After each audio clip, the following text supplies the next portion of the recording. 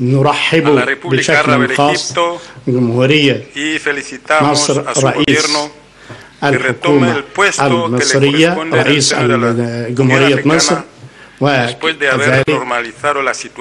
بعد أن تم تطبيع الوضع في جمهورية مصر على العربية. بعد أن تم إجراء انتخابات عادلة وديمقراطية. ونزيه السيسي. آه، حضور فخامة الرئيس عبد الفتاح السيسي de la misma manera